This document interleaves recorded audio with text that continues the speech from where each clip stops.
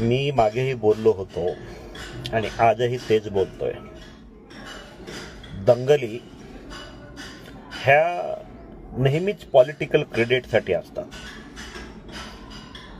Political credit घेण्यासाठी नेते फक्त चमकोगिरी करतात. जसं बाबासाहेब आंबेडकर मोहनदास गांधींबद्दल म्हणाले होते महात्माच like flinting phantom raise dust but raise no level Mahatma लोक थूळ उडवू शकतात पण समाजाची पातळी उंचावू शकत नाहीत. अशाच पद्धतीचे स्टंट हे दंगे झाल्याच्यानंतर होत असतात. परभणीमध्ये झालेला दंगा त्यानंतर ज्या लोकांवर गुन्हे दाखल करण्यात आलेले आहेत खरं तर त्या लोकांची परिस्थिती जी आहे आज ती अतिशय भयानक आहे. ज्या लोकांवर गुन्हे दाखल झालेत त्यांना पुढं काय? ज्या पोलिसांनी यांच्यावर गुन्हे दाखल केले ज्या कलेक्टरांनी गुन्हे दाखल केले त्या कलेक्टर आणि पोलिसांशी जाऊन आपली लोक संवाद साधतायत. मुळात नेता म्हणून इतकी तरी ज्ञान इतकी तरी बुद्धी इतकं तरी बेसिक नॉलेज त्या लोकांना असणं गरजेचं आहे की गुन्हे एकदा दाखल झाल्याच्यानंतर त्याला कलेक्टर माघारी घेऊ शकत नाही. किंवा पोलीस माघारी घेऊ शकत नाहीत. तर त्याची जी पुढची प्रोसेस असते ती कोर्टातून असते. मग आता कोर्टामध्ये काय चालू आहे? है ना? किती लोकांवर गुन्हे दाखल झालेत? गुन्हे दाखल झालेल्या लोकांपैकी किती लोक कोर्टासमोर हजर करण्यात आलेली आहेत? किती लोक हॉस्पिटल्समध्ये आहेत? त्यांच्या हॉस्पिटलच्या खर्चाचं काय? ज्या लोकांना पोलिसांनी अटक केलेली आहे त्यांच्या घरच्या परिस्थितीचं काय? त्यांच्या घरी त्यांची साधनं कशी आहेत? त्यांचे मायबाप आहेत का मेलेत? किंवा कोणाला आई वडील असतील तर त्यांच्या घरची परिस्थिती काय आहे? या सगळ्या गोष्टी खरं तर नेतृत्वानं पाहणं गरजेचं असतं. पण आमच्याकडे नेतृत्वच नसल्यामुळं सगळा स्टंटबाजीचा बाजार चालू आहे. इकडे जा फोटो काढ तिकडे जा व्हिडिओ काढ. याने साध्य काहीच होणार नाही. आता हिंग- परभणी प्रकरणातील बरेचशी लोक गुन्हे दाखल होऊन सुद्धा अजून अटक झालेली नाहीत त्यांच्या अँटिसिपेटरीचं काय? अँटिसिपेटरीसाठी जर सेशनमध्ये होत नसेल तर हायकोर्टामध्ये जाऊन त्याचा खर्च कोण उचलणार? चला आत्ता खर्च समाज म्हणून आपण उचलू. भविष्यामध्ये त्याच्या केसेस चालू झाल्याच्यानंतर चार्जशीट दाखल झाल्याच्यानंतर केसेस पे फे पेशा चालू होणार. त्याचा खर्च कोण उचलणार? ह्या सगळ्या गोष्टींचा जो विचार आहे हा कुठंतरी समाज म्हणून एकत्र येऊन होणं गरजेचं आहे. असं कुठलं तरी कॉन्ट्रीब्युशन तयार करून आपण त्यातून ह्या लोकांना सोडवणं गरजेचं आहे जे निर्दोषपणे या प्रकरणामध्ये अडकवलेली आहेत. मुळात ज्यांनी गुन्हा केलेला आहे त्यांना सजा झालीच पाहिजे. मग ते कोणीही असू द्यात. पण ज्यांनी गुन्हा केलाच नाही त्यांना त्यांच्यासोबत अडकवण्यात आलेलं आहे ज्यांनी गुन्हा केलेला आहे अशा सगळ्या लोकांची निर्दोष मुक्तता कशा पद्धतीनं आपल्याला करता येईल? याचा जो मार्ग आहे तो म्हणजे कोर्ट आहे.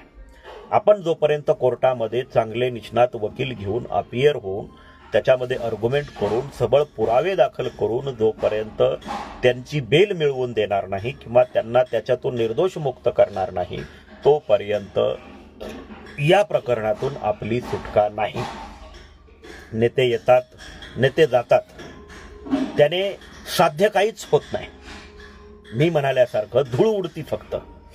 पण वास्तव जे आहे ते जशाला तसंच राहतं. आणि ते वास्तव जे आहे हे आता कोर्टात जाऊन पोहोचलेलं आहे. जवळपास पाचशेच्या वर लोकांवर गुन्हे दाखल झालेले आहेत. आणि गुन्हे दाखल करणारं हे त्या ठिकाणचं स्थानिक प्रशासन आहे. म्हणजे ज्यांनी गुन्हे दाखल केले त्यांना जाऊन तुम्ही भेटताय. कलेक्टर असेल एस पी असेल यांच्या आदेशाशिवाय तर तिथं गुन्हे दाखल झाले नाहीत. म्हणजे तुम्ही ज्यांनी गुन्हे दाखल केले त्यांना जाऊन भेटताय. पण ज्यांच्यावर गुन्हे दाखल झाले त्यांच्या घरची परिस्थिती काय आहे त्यांना भेटायला तुम्हाला वेळ नाही. हॉस्पिटल्समध्ये बरीचशी लोक आहेत. त्यांच्या दवाखान्याच्या उपचाराचं काय चालू आहे? आपल्या बऱ्याचशा लोकांच्या गाड्या फोडलेल्या आहेत. त्यांचं काय त्यांची परिस्थिती आजची काय चालू आहे? यावर सुद्धा कुठंतरी सगळ्या महाराष्ट्रातल्या बौद्धांनी मी दलितांनी म्हणत नाही आपण आता दलित नाही आहोत. बऱ्याचशा राजकीय नेत्यांना आपण दलितच आहोत असं म्हणून घेण्यामध्ये आनंद वाटतोय. तो त्यांना खुशाल वाटू द्या तो त्यांचा स्टंट आहे तो ते करतच असतील. पण बौद्ध म्हणून आपली एक अशी जबाबदारी आहे की जी घटना झालेली आहे त्यामध्ये ज्यांनी घटना पायदळी तुडवून खरंच ती दंगल घडवून आणलेली आहे. त्यांच्यावर पोलिसांनी गुन्हे दाखल केलीच पाहिजेत. त्यांना त्याची शिक्षा झालीच पाहिजे. पण यामध्ये जे निरापराध प्राण अडकलेले आहेत निरापराध लोकांवर केसेस दाखल झालेले आहेत त्यामध्ये मार्ग काढून त्याच्यामध्ये पोलिसांना कोर्टामध्ये मदत करून न्यायालयापुढे सत्य बाजू मांडून बऱ्याचशा लोकांच्या बेल्स आपल्याला करून घेता येतात. किंवा त्यामध्ये जी लोकं ह्या दंगलीमध्ये नव्हतीच. त्या लोकांची सुद्धा नावं आहेत तर त्यांना अँटिसिपेटरी म्हणजे अटकपूर्व जामीन मिळवून घेता येतो. ही यंत्रणा आता ताब्यात घेऊन सगळ्यांनी एकत्र येऊन काम करण्याची गरज आहे. यामध्ये जे फिर्यादी आहेत हे पोलीस असल्यामुळं त्यांच्याकडे सबळ पुरावे असल्याशिवाय त्यांनी ह्या प्रकरणामध्ये फिर्यादी म्हणून भूमिका बजावलेली आहे. याचा अर्थ पोलिसांकडे सरळ पुरावे सबळ पुरावे आहेत. त्यामुळे त्यांनी या प्रकरणामध्ये फिर्यादी होण्याची भूमिका घेतलेली आहे. असं कुठलाही पोलीस अधिकारी उठून मी ह्या प्रकरणात फिर्यादी होतो असं म्हणू शकत नाही. त्यामुळं हे जे नियोजन आहे हे पूर्वनियोजित नियोजन आहे. पोलिसांचं हे पूर्वनियोजित कट आहे कट कारस्थान आहे. पण या कटामध्ये ज्या लोकांनी खरंच हे ॲक्च्युअल काम केलेलं आहे त्यांना त्याची सजा मिळाली पाहिजे. अशोक घोरबांडबद्दल बऱ्याच लोकांकडून जो आता एल सी बीचा पी आय आहे तिथं या अगोदर तो नांदेडमध्ये पण होता. त्याची जी कारकीर्द आहे ती तो जिथे जाईल तिथं संशयास्पदच आहे.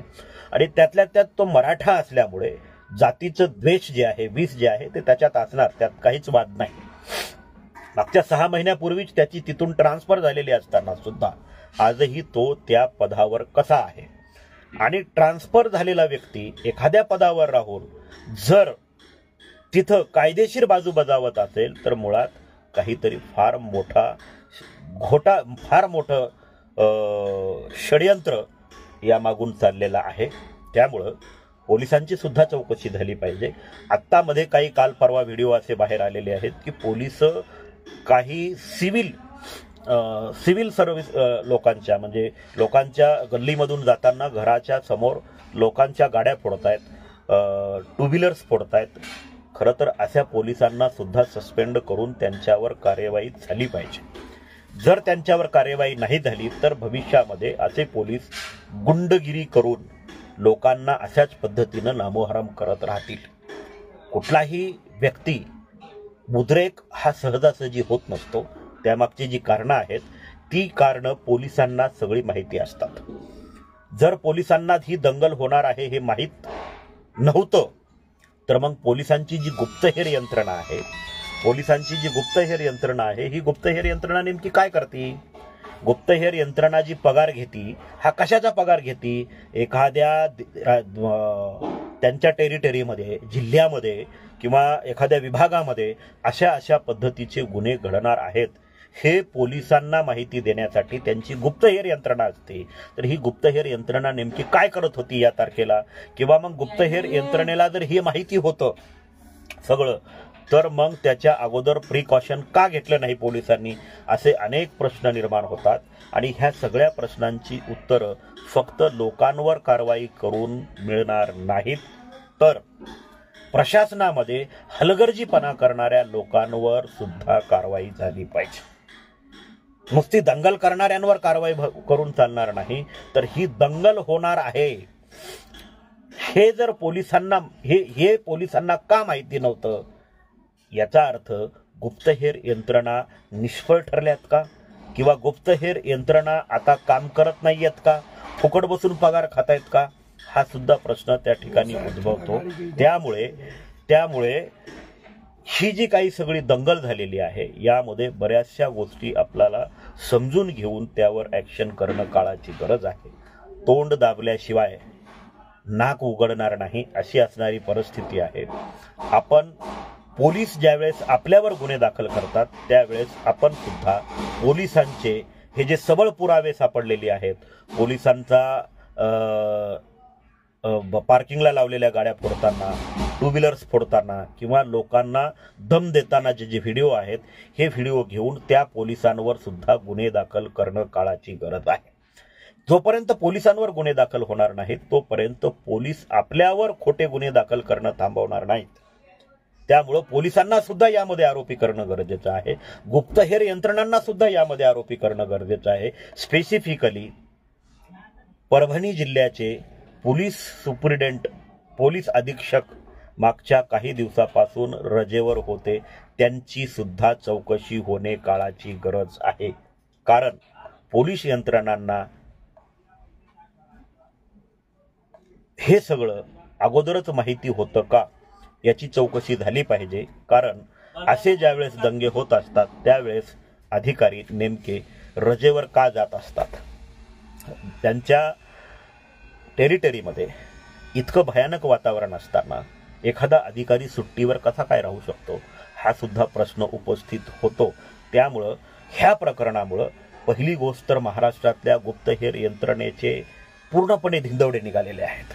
गुप्तहेर यंत्रणा ही पूर्णपणे चपसेल झालेली आहे की ज्यांना त्यांच्या टेरिटरीमध्ये काय होणार आहे याची माहिती मिळवता आली नाही. त्याच्यामुळं त्यांना सगळ्यांना सस्पेंड करणं ही पहिली गोष्ट आहे.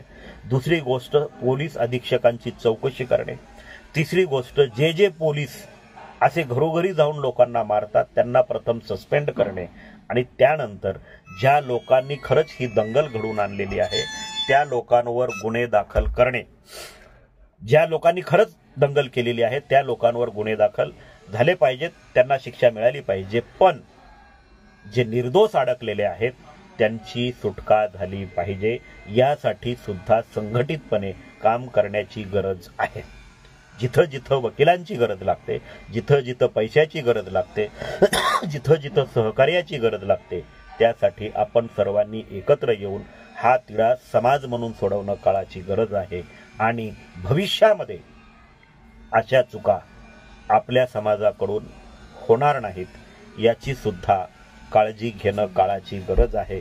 अन्यथा दर वर्षाला दोन वर्षाला चार वर्षाला असेच जर हजार पाचशे तरुण आपण वयामध्ये आलेले समाजाचं भविष्य घेऊन निघालेले कायद्याच्या कचाट्यात अडकवून जर उद्ध्वस्त करत राहिलो तर समाज म्हणून उभं राहण्यासाठी आपल्याला लागणारं जे बळ आहे हे उद्ध्वस्त झाल्याशिवाय राहणार नाही.